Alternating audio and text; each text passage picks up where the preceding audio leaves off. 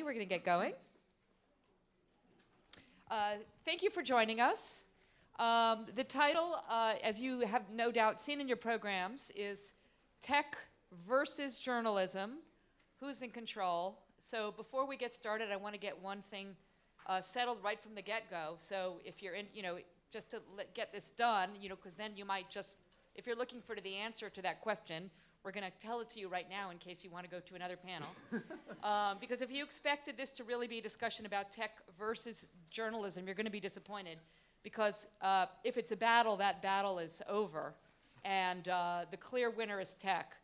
Let's just be completely clear technology is in control.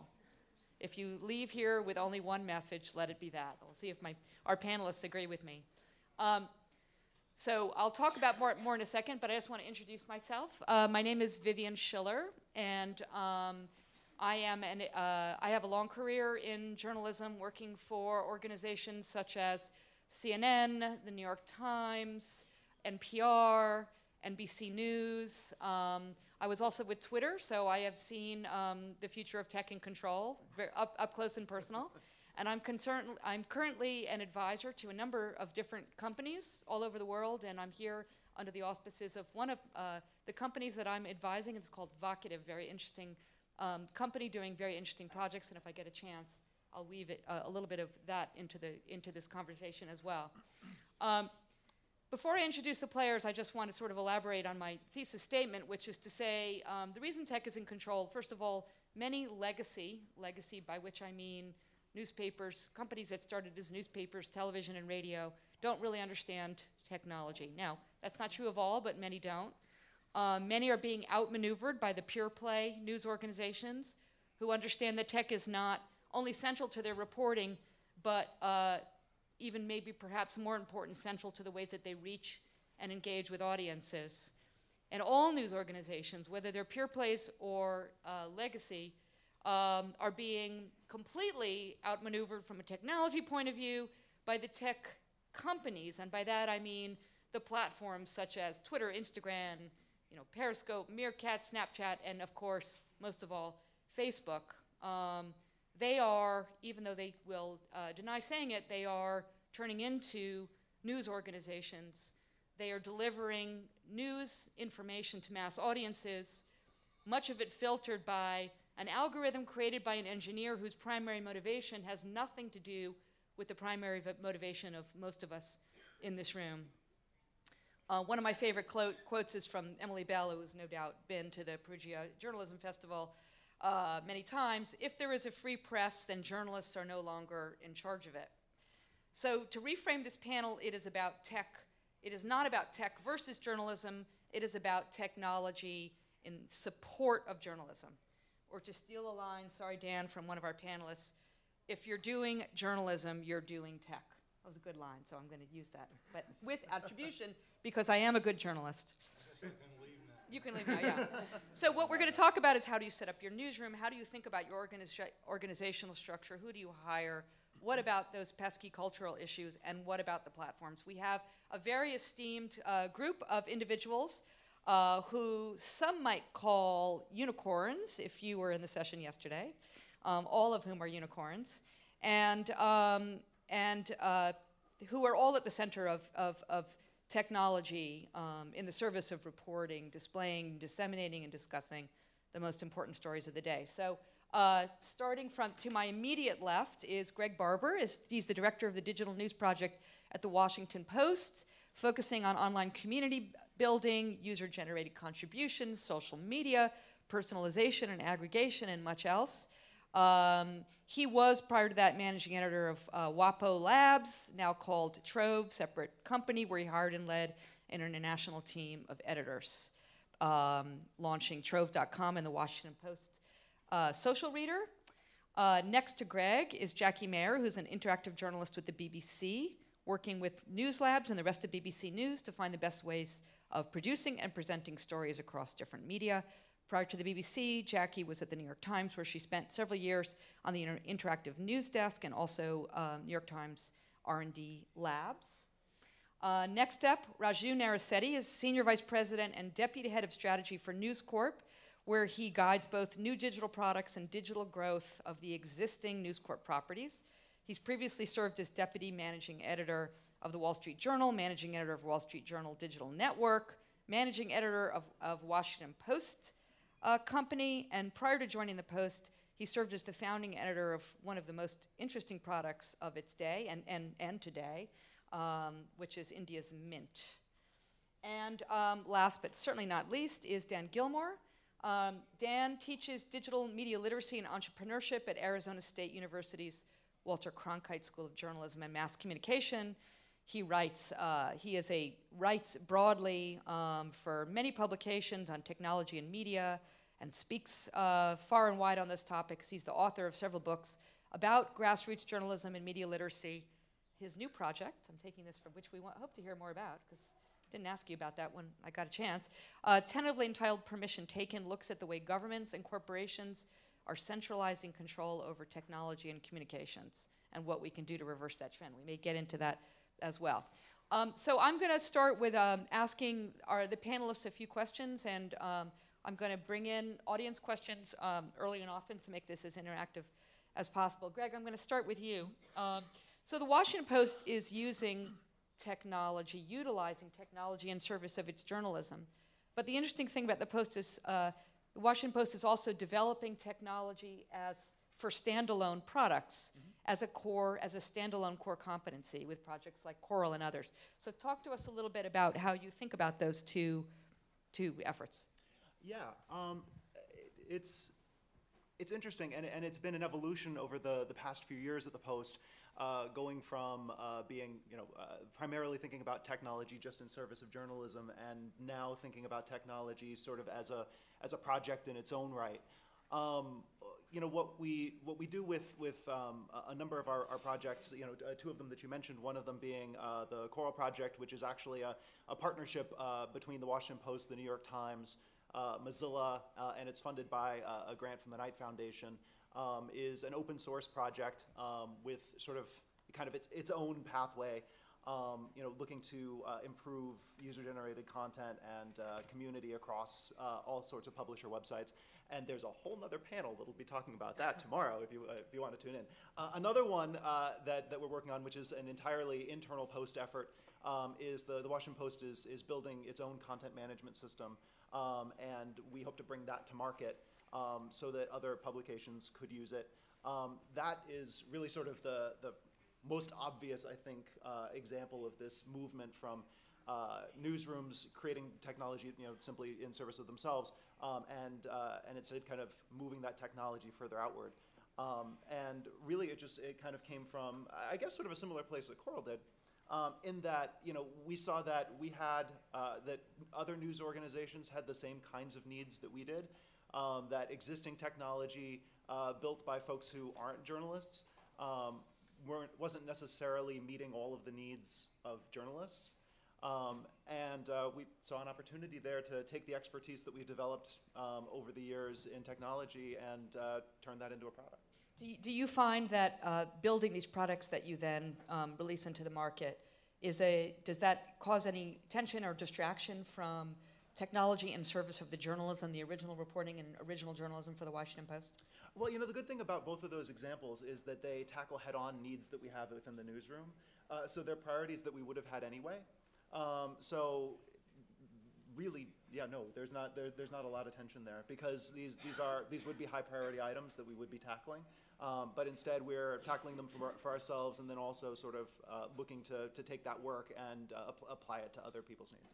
Raju, I'm going to go uh, to you next because um, a lot of what Greg is talking about, I think that you have a point of view about as well, and I've heard you talk about concerns for news organizations who are under such financial pressure as it is um, in terms of distribution and building audience and monetization, that the notion of building a core competency around technology may be in some cases a bridge too far. So I'd, I'd love to hear your thoughts about that. Yeah, so I, used to work at the Washington Post, and Greg and I know each other for a long time. So I'll preface that by saying it's the dumbest thing I've ever heard for a news organization to want to build a CMS. Right?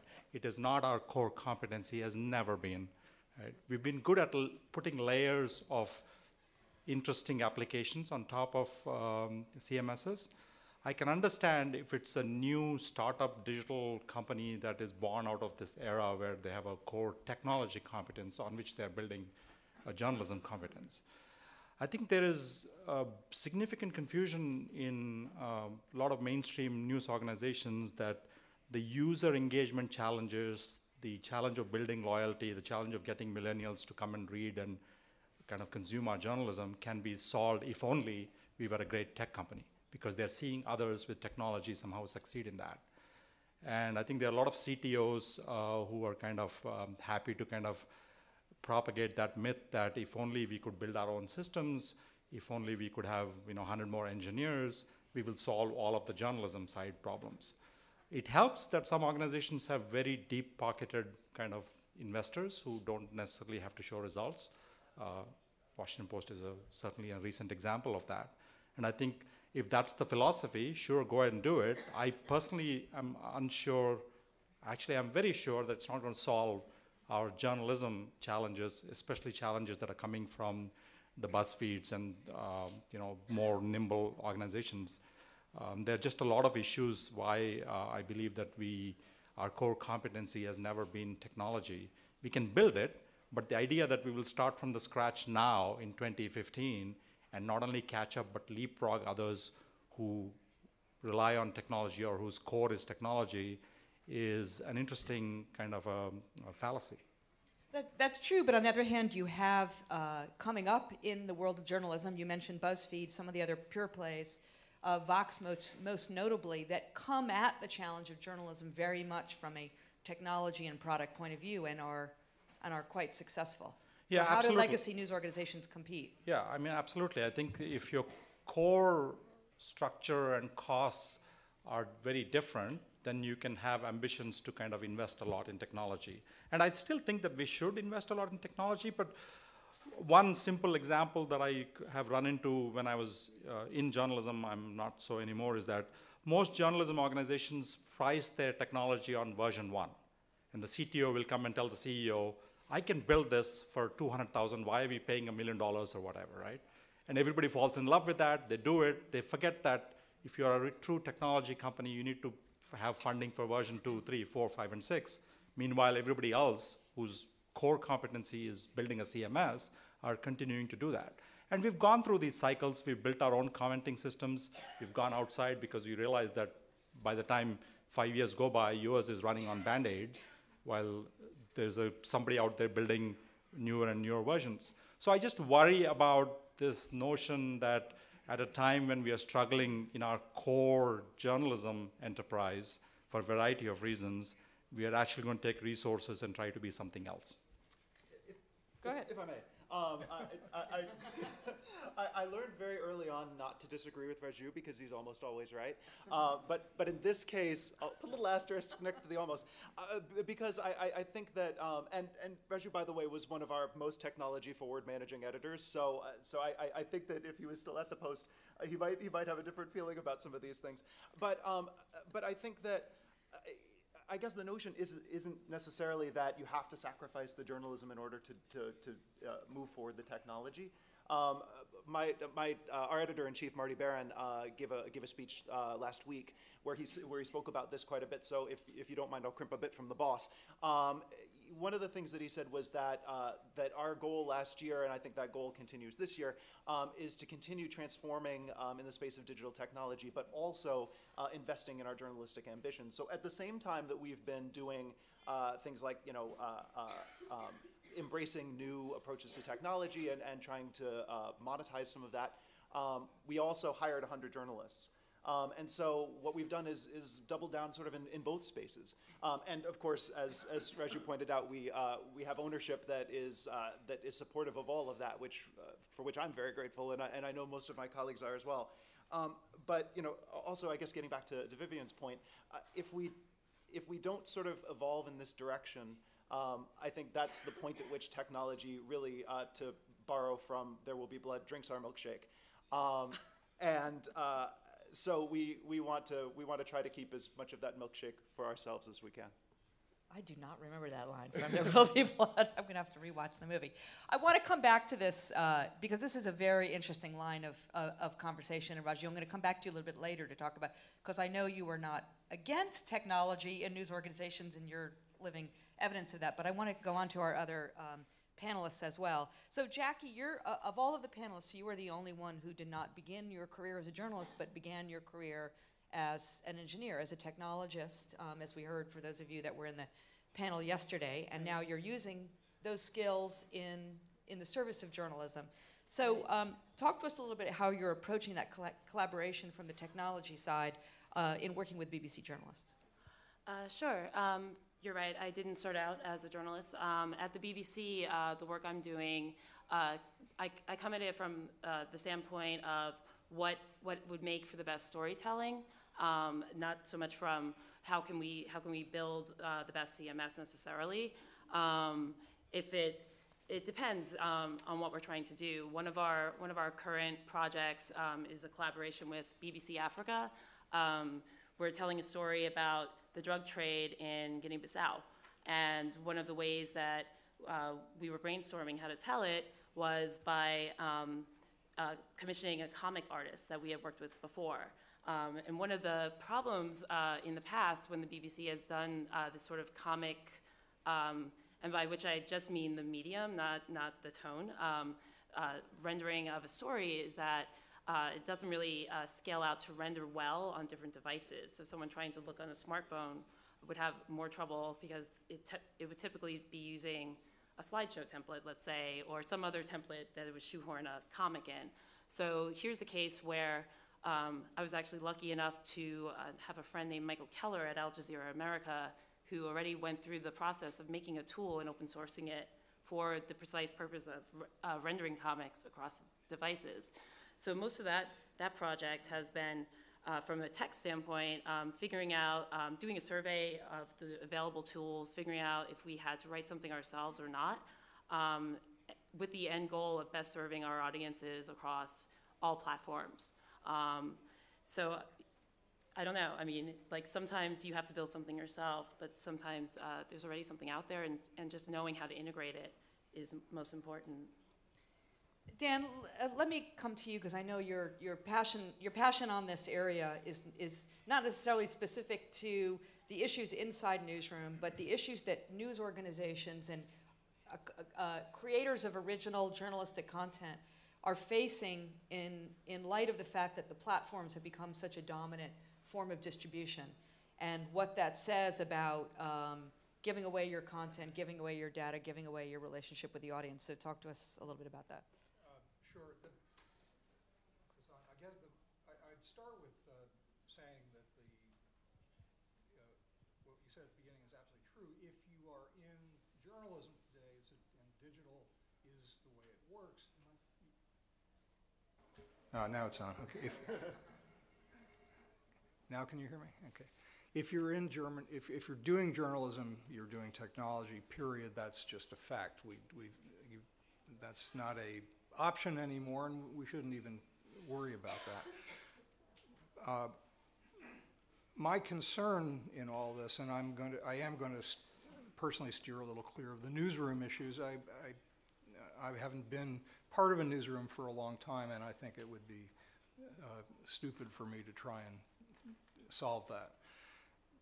But what I do think is enormously concerning is the fact that in a world that tech is so dominant, uh, there are facts, uh, facts on the ground and things happening that are causing a re-centralization of a medium that was born on the uh, incredible promise of radical decentralization, the internet, and personal tools that would attach to it rapidly becoming re-centralized by uh, governments through a number of things uh, like surveillance and uh, which is more directly controlling than many people seem to think, corporations and others. And, and by the way, we are implicated in this because we have been collectively choosing convenience over liberty, and we've done that for some years now, and uh, so we're getting the results of that. Uh,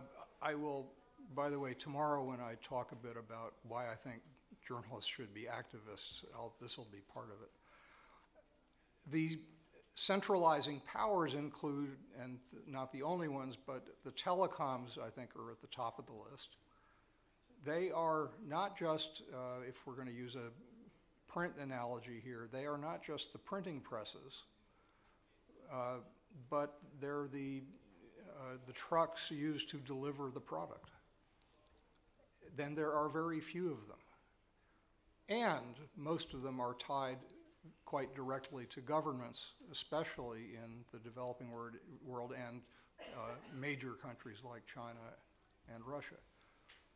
Well, I should add the US to that, not quite as uh, direct a tie, but they're clearly connected.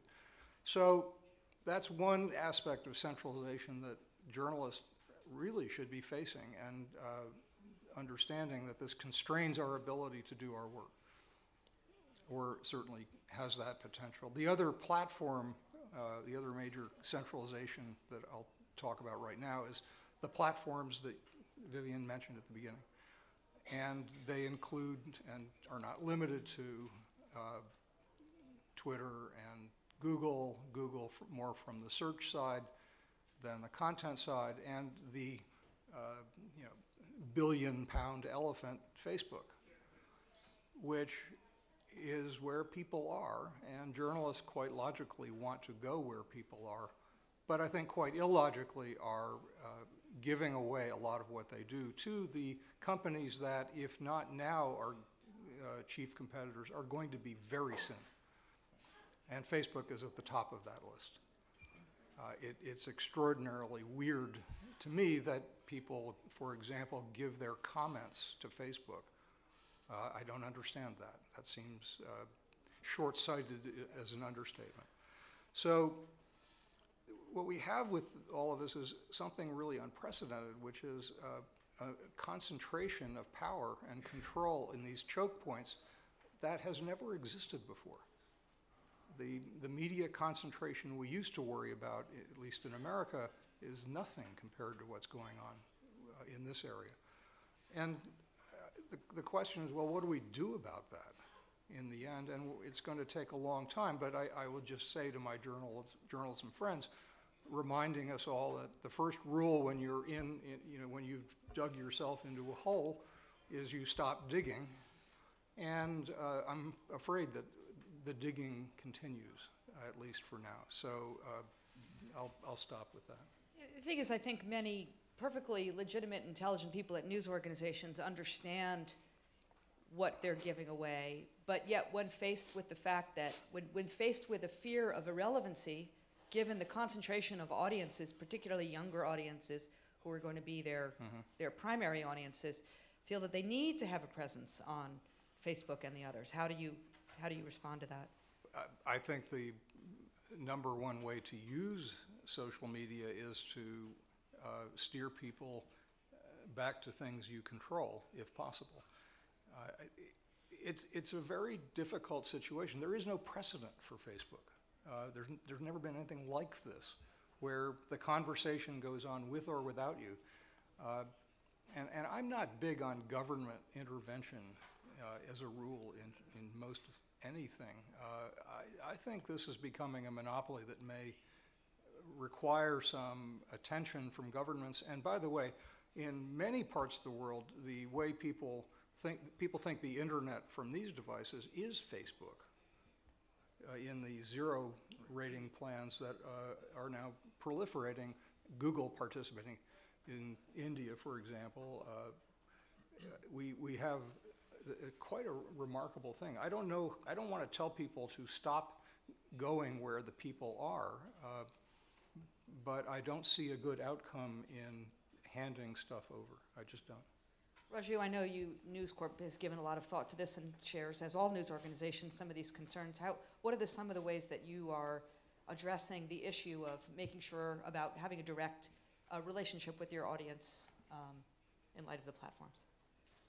I think one of the first things we wanted to do and have tried to do is to kind of uh, make sure that we collect, protect, preserve, and then use the data that our audiences are very willingly giving us. And that meant that you try to eliminate as much as possible third parties kind of harvesting that data. And um, uh, I'll give you a simple example, and we haven't done it yet, but it's worth thinking about, and it's not a News Corp issue, right? All of us obviously want to have share buttons Facebook, Twitter, LinkedIn, and hundreds of them these days, some of them. Um, but you can still provide that service to your reader without branding every page of your site with logos of every single platform by giving them free advertising, right? You could still do that. You could have a share folder in which you put all these kind of options. Or you could do it without the API that's constantly telling them how many people are kind of that meter that you run, which says 40 people have clicked on this or 40 people have shared. That is giving live data in real time to all these platforms. So you could still serve your readers by having the share functionality without giving away a lot of the data. I think those are the kind of conversations that are not yet happening because I think a lot of publishers haven't yet come to grips with the idea that the data they already have is much more valuable than how they have treated it. So I think there is an element of using technology to kind of um, kind of deal with data. If you step back, I think there's a larger issue. I think for up until very recently, our entire industry has really believed that having great, unique content is the competitive advantage that we have. But the problem in social media and the problem these days is that the advantage we have of compelling, unique, exclusive content has shrunk to minutes if we are lucky. Meaning that if I have a great story, the moment I publish it, literally within seconds, you'll start seeing others. If you're lucky, they will retweet you in the beginning, but very soon they'll have their own tweets and they'll have their own rabbit holes and siphon off eh, your audience, right? So just relying on compelling content is no longer enough. I think newsrooms have to pivot from focusing on only creating content to creating compelling experiences. Because the experience is still very defensible, very proprietary, and even if others have the same content, the way you've given that experience is very, very defensible. And all good experiences or bad experiences really only come at the intersection of journalism and technology. And I think that's where the answer is. Sometimes the pendulum swings too far, where somebody says, let's kind of create all of the technology because that's the experience we want to give, we want to control it. The challenge with that is kind of keeping up with it. To me, a lot of the resources are better spent at that intersection. If somebody has a really good CMS and you just need to tweak it, that's where you should put the resources. And then you should say, how do I create great experiences? How do I get the developers, the people to help the journalists kind of kind of create that, rather than kind of building the pipes and building the infrastructure. So that's where I kind of disagree with some of the directions that media companies are taking. I agree with you, Vivian, that technology is what's going to kind of make a big difference. But just that how do you kind of invest in it and where do you invest in it, I think is critical. Well, I think uh, on the subject of experience, that, that allows us to bring the conversation back into the subject of how news organizations operate. We'll come back again to the, to the issue of the platforms. Um, I've just uh, an experience from my own past. When I was at the New York Times, I was there at the moment where we decided to bring the developers into the newsroom. And this was, you know, it may have been, it felt like it was a thousand years ago. It was maybe nine years ago. And the idea of moving the developers into the newsroom was a very uncomfortable proposition for on both sides because previously, um, and, and the New York Times was very early on digital. Previously, the journalists would come up with an idea, being print journalists. You know, the ideas were usually sort of print-centric. You know, imagined in their minds, projected onto a website. Would go to the developers who were literally six blocks away in a different building and say, "Here, build, here, build this." Well, so you might imagine that did not create uh, the most optimal work. The moment you had the developers in the newsroom participating in conversations, participating in stories from the get go, there was an incredible flowering of creativity that still continues at the New York Times and other news organizations that have those, um, those resources integrated today. On the other hand, it is not and continues to be not without cultural challenges.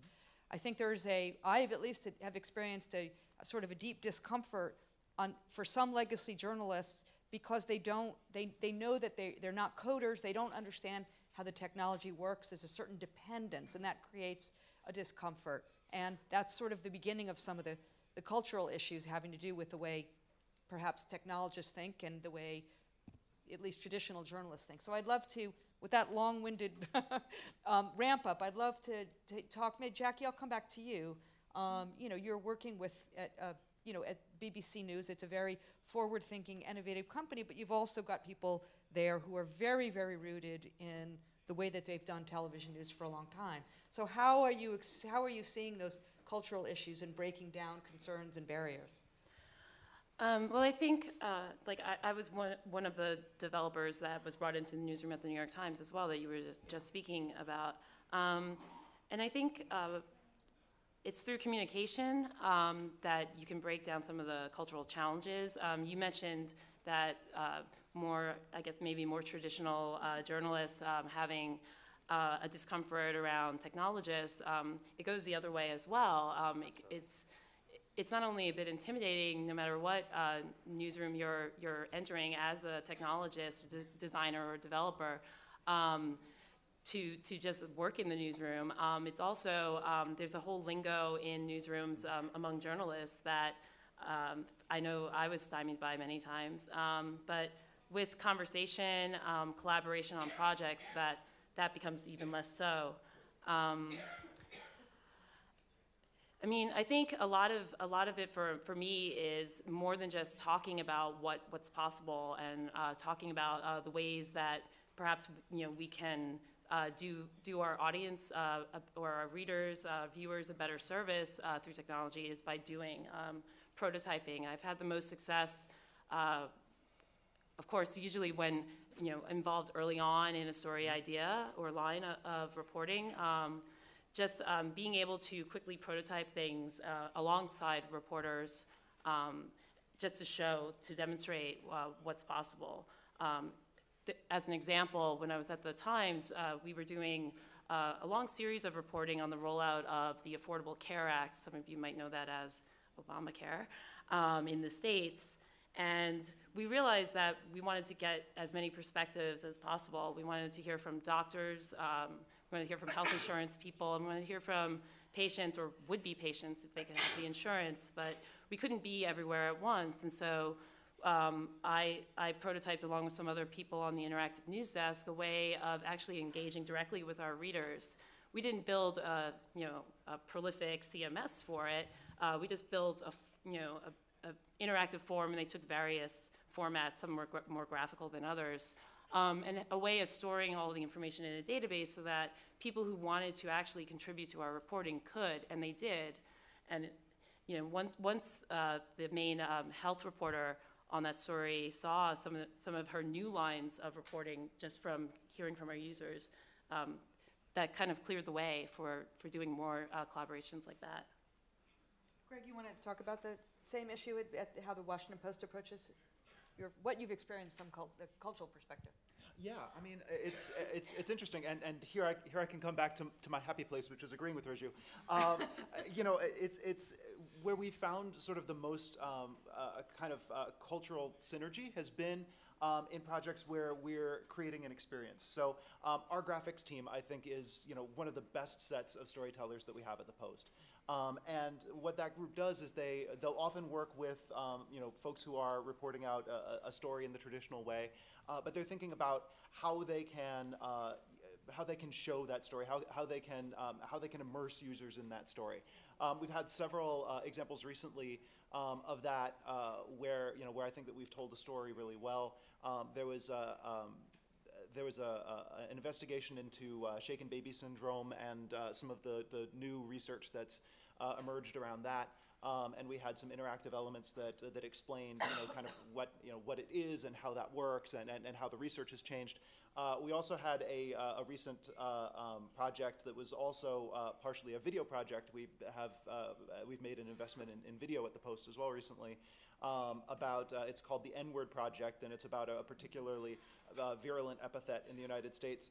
Um, uh, and it, it, it told the story in a very frank um, but very accessible sort of way.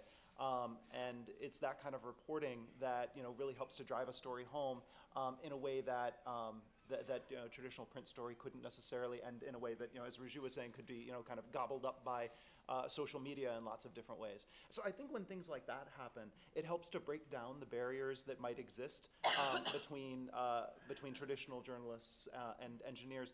What's also interesting is that um, as as time has gone on.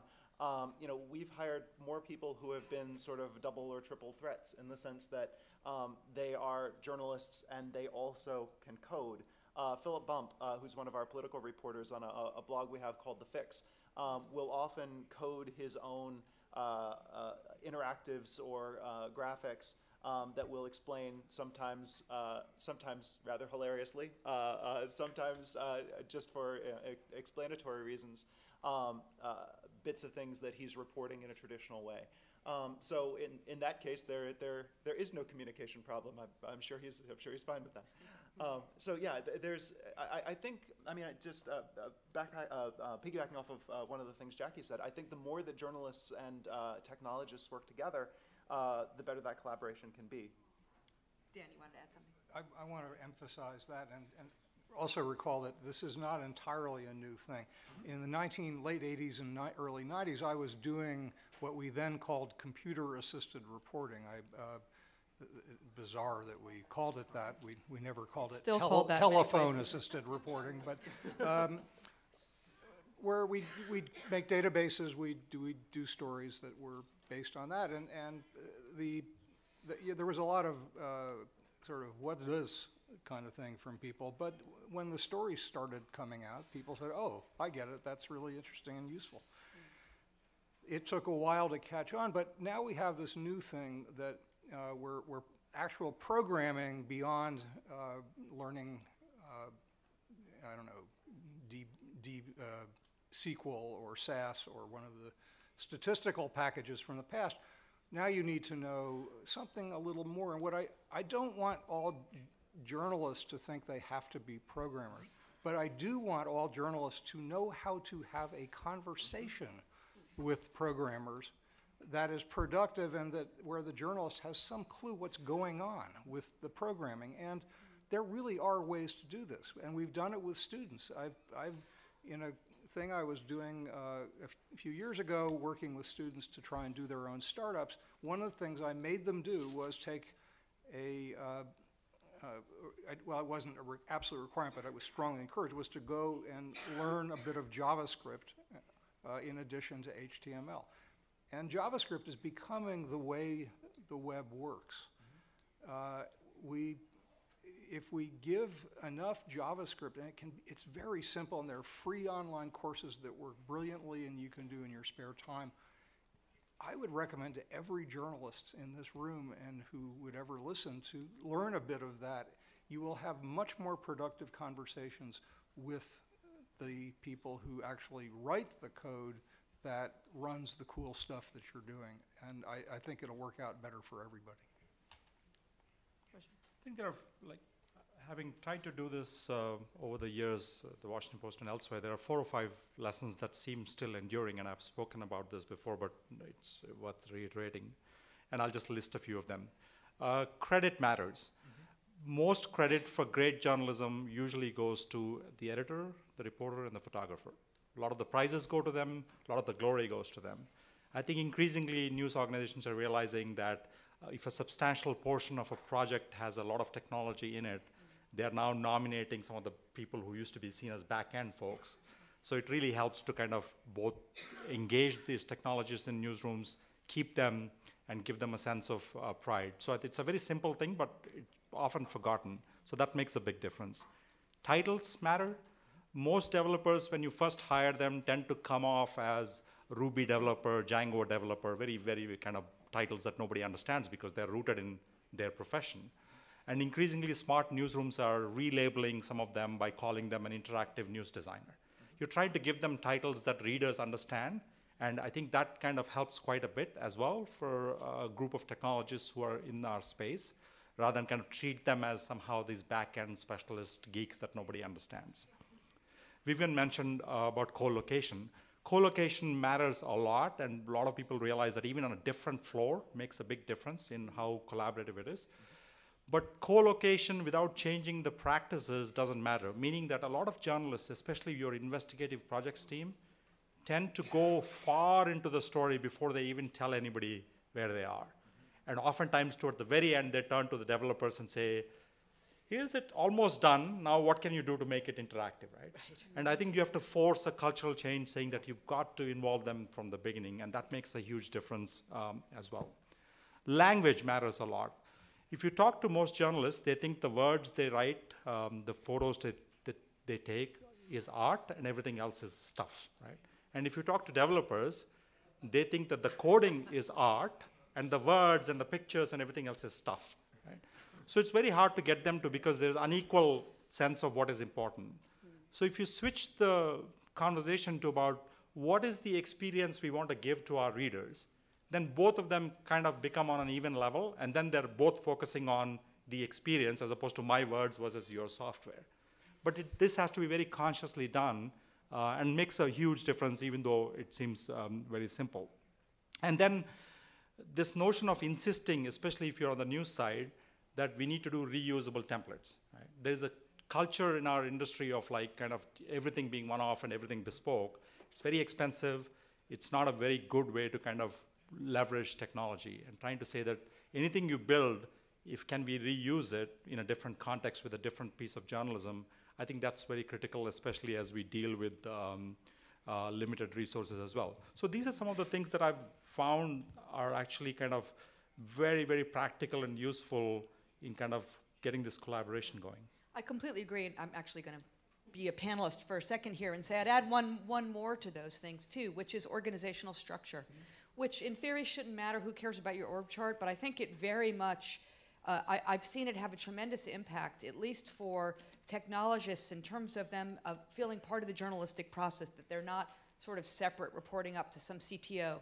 So my, my best, most recent example of that is I mentioned Vocativ, uh, for, for whom I'm a, a, a strategic consultant. And Vocativ has a group of, of sort of more traditional journalists. I mean, when I say traditional, I mean writers and, and, and videographers and, and, and you know, visualization folks in New York. And then there is another group that some are in New York, but actually mostly in Israel, who are um, the, these analysts who use a proprietary technology to uncover content from the unsurfaced web, meaning um, content that can't be found via search engine on message boards, publicly available content. So when I first started with them, those, those analysts, who mostly come from a technology background, were reporting up through part of the organization, through the CTO to a COO, and for the journalists, they were people on the other side of the organization, and the, and the analysts also felt like the journalists were some, some sort of these foreign, foreign group, literally and figuratively. Uh, but in understanding what the analysts did, and I remember being in a room with them, I said to them, You are journalists. You are doing the work of investigative journalism. You're finding things on the deep web that are source material for important reporting. And then we also did a reorganization and had the analysts be part of the newsroom. So even though you didn't have physical uh, uh, co-location, in fact, in this case, it's a seven-hour time difference. Just the mental shift from feeling, uh, c- considering themselves as part of the journalistic effort, as journalists working with people that know how to, you know, write write stories and and do the video, made a world of difference. And sort of everybody exhaled and felt like they were working together. And it again led to some a, a tremendous acceleration. So those those that organizational structure, I think, has an important impact. Um, I want to uh, take a, uh, go to questions. We're going to be ending the, ending this um, panel actually a little bit earlier than is scheduled. We're going to end it quarter to five so that folks can get onto five o'clock panels all over town. So, um, are there? Uh, do we have microphones in the room? We have people with microphones in the room. Do you have questions is the more important question. Or do we have people with questions, I guess, before we worry about the microphones? Okay. Was there a question over here? No? Oh, question, question right here. Um, can I just ask, the, you talked a lot about the sort of um, workplace culture um, and the, the different sort of bringing these, these two sides together, as it were. Um, but one of the things that's come up recently is the idea that having more technologists and technology is sort of making the line between editorial and commercial much harder to keep as clear blue water, which I don't think anyone has, has sort of said that that, that that should be closer. Could I just ask the panel what, what you think about, about that? I haven't, uh, I've come across a lot of reasons uh, for the church and state issues to be eroding, but I haven't heard of technology until recently. So this is an interesting one for me to think about. Um, where I think it's having some impact for us is that um, used to be that the CMS we would use for publishing would would be a would not be useful for us to do native advertising or branded content that had to sit somewhere else. And increasingly, as those two come together in terms of where you publish it, we are finding that having completely separate systems is causing a fair amount of like issues internally in being able to execute that. So th- there I have seen some tech um, issues, but if you can give an example of what you mean, I think that might be more helpful because I haven't come across. Yeah, I would love to hear an example.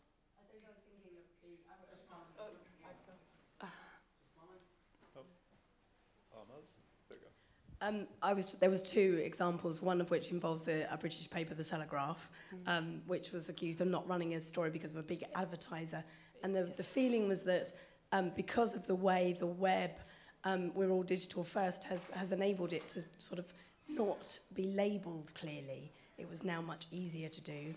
Um, I'm not saying it's, it's a cause of technology, it's just it seems to be a sort of interesting phenomenon. Um, and then a very separate case, but about a global company, which is the furore about BuzzFeed and, and what's been happening there recently. So those two cases, it just seems like quite an interesting area. Um, okay, that makes sense. I, I agree. Um, it's, I think it's a, a conversation that really needs to happen um, more. Um, it involves, you, you mentioned things that involve so many issues. There's um, the issue of um, privacy, right? With uh, whether it's um, BuzzFeed using its quizzes or um, other analytics to uh, track uh, audience engagement. Um, or it's also about, uh, with the Telegraph example, I think it's more of an issue of journalistic integrity, right? And, and um, maybe uh, like kind of a watchdog um, aspect, um, giving the readers or citizens more. Um, I, don't know how you would say it, like um, just having having the ability just through um, being able to search on on the website to find some of the older stories that might have existed before and perhaps no longer are there.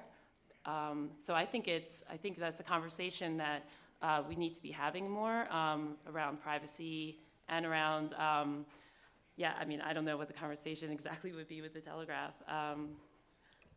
Not seeing it as a technology issue as much as uh, just not enforcing um, your normal kind of standards. In up until four, five, six years ago, um, it used to be that the web team was very separate. The print and those guys was oftentimes the web teams were non-union, very cheap. So there was this sense that they can get away with some things, and I think sometimes some things would slip past that. But again, less of a technology issue and more where organizations were very separate. Uh, but these days, I don't think that's an excuse anymore. I think Ben Smith, uh, BuzzFeed said that he just screwed up, and which I think he did. And uh, Telegraph, uh, Jason Seiken is gone, partly because of the HSBC and other issues. So I, I look at that as a good sign of acknowledging that they were just normal ethical issues as opposed to technology driving it. I'm saying that not knowing the actual facts of either one of those. Of course, all of these issues become exacerbated because they are spread in an instant. Right. So, There- There's the a, technology angle. the- I think, I think the technology issue that may go directly to your question is the, is data. Uh, And that's been coming on for a long time. We didn't used to know uh, in print what, who, who was reading what, and who, we sort of knew who they were, but we didn't know much beyond that. And now we know a lot, and that is plainly having influence uh, over journalism and content in a larger sense. But clickbait was not invented after uh, the internet. Uh, clickbait has existed in the form of tabloids for a long time. It's the equivalent, and and it's just we're we're better at it now, and you know we're we're it. My my my cure for a lot of these things is transparency.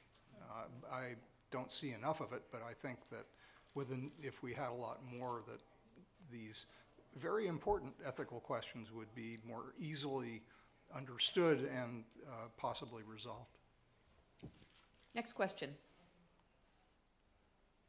All the way in the back. Oh,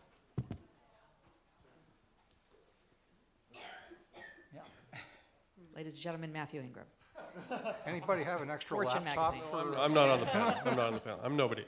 Um, this is, I guess, mostly for Dan, but but for anyone else who wants to answer. So, given that media companies essentially have to deal with Facebook, it exists. It's huge. You can reach a big audience. It's it can do a lot of favors for you, but it, uh, there's also a risk. How should media companies deal with that problem? If you have to, you can't say no. You can't not deal with them. So, how do you approach it? I- I- Well, when, when I become the, uh, the czar of all media, uh, I, I will organize uh, every content company of every kind uh, to do two things. One is to create a, uh, a, a re-decentralized, uh, federated version of social networks that no one actually owns, but that works in a very distributed way. And secondly, uh, I, I will, uh, on behalf of all content providers, uh, cut a deal with Facebook that doesn't give away the store to Facebook and that gets something back from them that is uh, at least of equal value to what they're getting from us. But since we, uh, one thing we know about journalists is that they don't, they don't collaborate very well. uh, And there are antitrust issues that would be raised by something of that order, of that sort, uh, that would not be trivial. But I'd like to see the industry at least start having these conversations uh, about, you know, where is it going to live when it no longer controls the 21st century printing presses or the methods of delivery? What, what's the future at that point? And I don't see an organized effort on the part of the industry to do that. Anybody else want to take that one? Um, I don't have an answer yet, but um, I think it, it's rooted in the belief that um, Facebook perhaps needs Wall Street Journal content as much as we need Facebook. And we believe in our content and our experiences. And up until now, we've been, you know, Facebook has been around for a while and been very happy to kind of uh, use them and vice versa. Uh, I just don't think that giving full text stories, giving away all your audience data um, is anything other than mortgaging your future.